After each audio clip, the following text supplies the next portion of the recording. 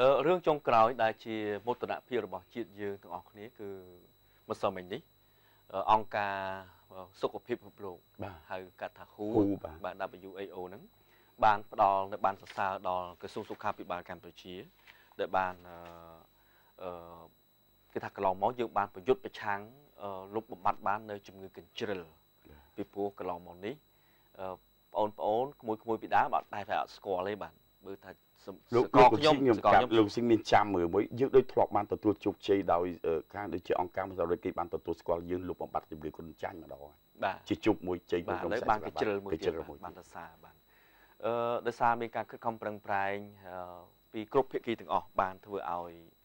កម្ពុជារបស់យើងនឹងបានលុបបំបត្តិនៅជំងឺកញ្ជ្រិល100%ពីដើមដូចជាទស្សវត្សឆ្នាំ90យើងនៅឡើយបាទឲ្យតែស្រួលស្រួលឆ្លងតគ្នាដូចអីចឹងបាទ ចេញឥឡូវឥឡូវខ្ញុំដូចជាខានលឺដែរលោកកំស៊ីពីដើមអាសាឃើញយើងឃើញឃើញខ្មែរអីចឹង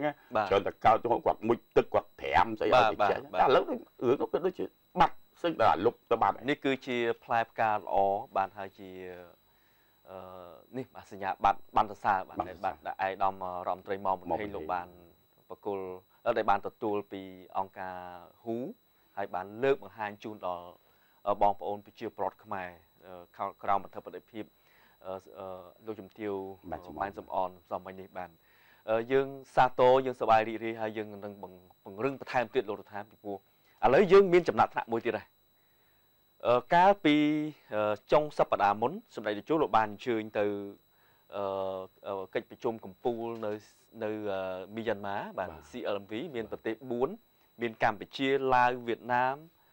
អឺហើយនឹងហើយហើយមីយ៉ាន់ម៉ានៅក្នុងចំណោម4ប្រទេសហ្នឹង កម្ពុជាយើងគេធ្វើ survey មើលទៅគេធ្វើការសិបទុំមតិសិបទុំមតិទៅកម្ពុជាបានចំណូលខ្ពស់ជាងបណ្ដាប្រទេសទាំង4ហ្នឹងបាទទាំងក្នុងចំណោម4ហ្នឹងមានយើងយើងយើងបានលេខ35នៅក្នុងចំណោមប្រទេស127ហើយដូចជាវៀតណាមបាន98មីយ៉ាន់ម៉ា97ហើយឡាវ115ក្នុងចំណោមប្រទេសដែលមានប្រាក់ចំណូលសម្រាប់ជាតិចូលជាតិណាអានេះគេគិតគេគិតច្រើនច្រើនសន្តានបាទដូច្នេះកម្មវិធីយើងមាន ពេលវេលាខ្លីពេកថ្ងៃណាមួយយើងនឹងមានពេលឱកាសយើងនឹងវិភាគទាំងអស់គ្នាយើងដើម្បីថាតើបញ្ហានោះមកជំរាបជូនបាទយើងថាតើគេឲ្យតម្លៃទៅលើប្រទេស4ហ្នឹងយ៉ាងម៉េចរបៀបយ៉ាងម៉េចនៅក្នុងការរកចំណូលចូលគេថាប្រទេសនីមួយៗហ្នឹងយើងសិក្សាបញ្ហានឹងថែមទៀតដោយសារព័ត៌មាននេះខ្ញុំបានទទួលពីផ្នែកព័ត៌មានសេដ្ឋកិច្ចនៅភ្នំពេញប៉ុស្តិ៍ដែលគេចុះផ្សាយមកប៉ុន្តែយើងនឹងសិក្សាបន្ថែមទៀតបាទដើម្បីរឿងថាតើ